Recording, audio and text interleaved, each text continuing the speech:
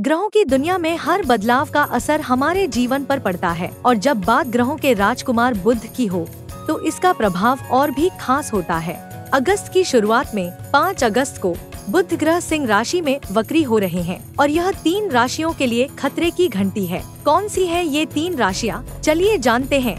देवघर के ज्योतिषाचार्य पंडित नंद किशोर मुदगल से पंडित नंद किशोर मुदगल बताते हैं कि बुद्ध ग्रह बुद्धि और वाणी के कारक हैं। जब ये वक्री होते हैं तो ये विशेष रूप से सिंह वृश्चिक और मकर राशियों पर नकारात्मक प्रभाव डालते हैं। सिंह राशि वालों के लिए यह समय सतर्कता का है। आर्थिक मामलों में सावधानी बरतें, किसी को उधार देने से पहले दो बार सोचें, अनावश्यक खर्चों से बचें, क्योंकि ये आपको परेशानी में डाल सकते हैं। जीवन में उतार चढ़ाव का माहौल रहेगा और वाद विवाद से दूर रहें। नहीं तो कोटक चहरी के चक्कर काटने पड़ सकते हैं। वृश्चिक राशि वालों को भी सतर्क रहने की ज़रूरत है। रिश्तों में खटास आ सकती है। इसलिए अपनी वाणी और गुस्से पर काबू रखें। व्यक्तिगत जीवन में अतीत की कोई बात सामने आ सकती है और परिवार में किसी सदस्य की सेहत खराब हो सकती है।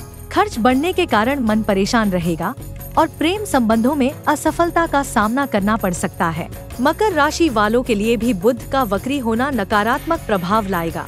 जीवन काफ़ी भागदौड़ भरा रहेगा और कारोबार के सिलसिले में लंबी और खर्चीली यात्राएँ करनी पड़ सकती हैं। छोटी छोटी बातों पर जीवन साथी के साथ वाद विवाद हो सकता है और कुछ मित्र विश्वासघात कर सकते हैं। किसी पर भी आँख मूंद कर भरोसा न करें और व्यापार में धन निवेश करने से पहले सोच समझकर निर्णय लें। तो ये है, वो तीन राशियाँ जिन पर बुद्ध के वक्री होने का सबसे ज़्यादा प्रभाव पड़ेगा।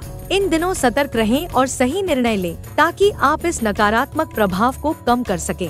ग्रहों की चाल हमेशा बदलती रहती है और इसके साथ हमें भी अपने कदम सोच समझ कर उठाने चाहिए जुड़े रहें और हमारे साथ ग्रहों की हर छोटी बड़ी खबर पाते रहें।